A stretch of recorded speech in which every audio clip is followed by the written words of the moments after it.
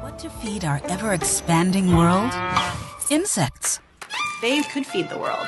Healthy. They're full of polyunsaturated fat, protein, and micronutrients. And sustainable. Insects will be a mainstream protein alternative. Too nervous? I'm right there with you still. Wait for a taste. Mm, that's delicious. It is gastronomy in the highest form. Edible insects on Nova.